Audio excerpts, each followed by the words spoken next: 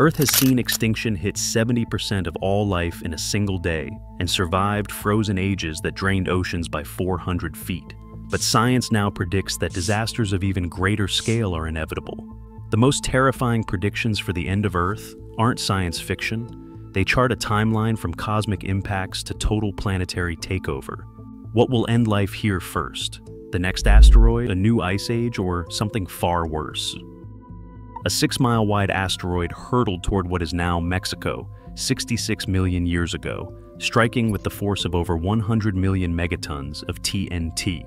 The impact instantly vaporized everything for hundreds of miles and sent shockwaves racing around the globe. Within hours, earthquakes and tsunamis battered distant coastlines and sent shockwaves racing around the globe. Within hours, earthquakes and tsunamis battered distant coastlines. Billions of tons of dust and sulfur shot into the sky, blocking sunlight for months. Photosynthesis collapsed, temperatures plunged, and food webs unraveled. In a geological blink, about 70% of all species vanished, including the dinosaurs. Events like this are rare, but not impossible. Statistically, a Chicxulub scale impact occurs once every 100 million years. Smaller asteroids strike more often, as the 2013 Chelyabinsk airburst in Russia reminded the world, arriving with no warning, injuring over 1,500 people. Despite new detection programs, only about half of potentially city-destroying asteroids have been found. According to planetary scientist Dr. Lindley Johnson, our current survey is far from complete. The risk of missing the next big one is very real.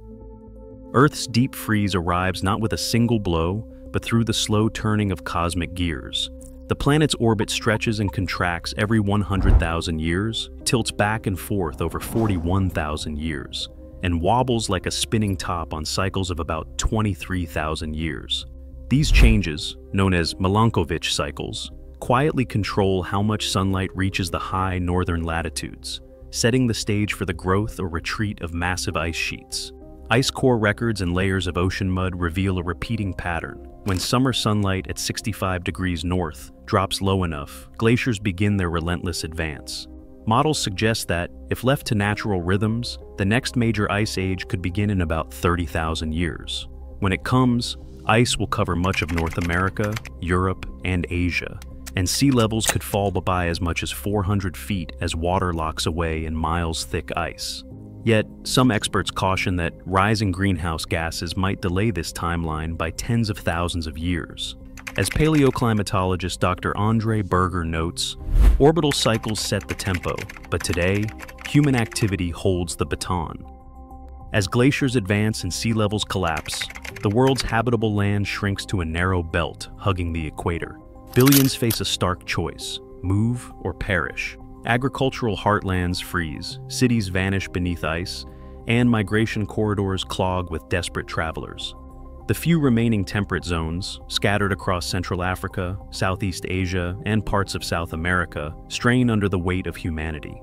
Food production plummets as arable land disappears and water grows scarce. Demographer Dr. Elena Rathman describes the scenario, our models show that, in a full glacial maximum, the planet could support less than a tenth of today's population. The rest would be swept away by famine, cold, and conflict. Ancient Ice Age refuges, once home to small bands of hunter-gatherers, now struggle to shelter billions. Disease, resource wars, and social breakdown become daily threats. The scale of loss is almost unimaginable, a world where survival depends on finding a patch of ground that the ice has not claimed. 250 million years from now, the continents will drift together, assembling into a new supercontinent. Africa will press northward, colliding with Eurasia and closing off the Mediterranean. Antarctica and Australia will merge, anchoring a vast southern landmass. As these colossal plates grind together, mountain ranges will rise and coastlines will vanish. The world map will be almost unrecognizable, a single, sprawling land ringed by a superocean. In the heart of this giant continent, the climate will turn brutal. With so much land so far from the sea, moisture won't reach the interior. Rainfall collapses, and what was once forest or grassland becomes scorched desert. Temperatures soar and rivers dry up. The interior stretches for thousands of miles, cut off from ocean breezes, locked in cycles of drought and heat. Dr. Ross Mitchell, a leading tectonicist, describes it this way. The supercontinent's center will be an arid wasteland, inhospitable to most life. Only the fringes, where land meets the sea, will offer any relief. For life on land, the age of lush continents will be over, replaced by dust, heat, and a struggle for survival. Massive volcanic eruptions can trigger a different kind of planetary crisis, one that starts in the oceans. Around 252 million years ago, the end Permian event, known as the Great Dying, saw up to 96% of marine species vanish. The cause? Colossal pulses of carbon dioxide from volcanic provinces like the Siberian Traps. These eruptions flooded the atmosphere with tens of thousands of gigatons of carbon dioxide, acidifying the oceans and stripping away oxygen. Core samples from ancient seabeds reveal a sudden drop in pH and a collapse of carbonate shell building, especially among brachiopods. These creatures, once abundant, proved highly vulnerable as their shells dissolved and their habitats disappeared. Fossil records show fewer than 5% survived the boundary. The devastation didn't stop there. As continents merged into a supercontinent, shallow coastal seas shrank by as much as 70%, erasing breeding grounds and refuges for marine life. According to marine biologist Dr. Lila Tron, acidification and habitat loss combined to wipe out nearly all complex ocean life, an extinction reset for the biosphere. The oceans, once teeming with life, became a graveyard of lost diversity, setting the stage for a new and harsher world. A billion years from now, sunlight will grow more intense as the sun slowly brightens, driving Earth's average temperature to between 86 and 100 degrees Fahrenheit. At first glance, these numbers may not seem extreme, but for most of the planet's plants and animals, they spell disaster. Even the hardiest trees and crops, reliant on a delicate balance of temperature and carbon dioxide, will be pushed beyond their limits. As the planet heats up, weathering reactions in rocks accelerate, pulling carbon dioxide out of the atmosphere. Once carbon dioxide drops below about 10 parts per million, photosynthesis falters. Nearly 95% of all land plants, including forests and grasslands, will vanish. Without plants, food chains unravel. Herbivores lose their only food source, and predators follow close behind. Pollinators, soil microbes, and entire ecosystems collapse in rapid succession.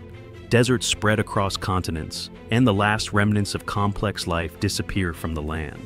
While the oceans will offer a brief sanctuary for some microorganisms, the age of forests, animals, and green landscapes draws to a close. The world becomes a place of empty heat, stripped of the life it once sustained. Long after forests have vanished and animals are gone, the last traces of life cling to existence in the planet's shrinking salt lakes and evaporating oceans. Halophiles, microbes adapted to thrive in extreme salinity, endure conditions that would destroy all other forms of life. Some survive for millions of years sealed inside crystals of solid salt, waiting out drought and radiation. In the words of extremophile microbiologist Dr. Priya Nair, these organisms are the ultimate survivors, but even they have their limits.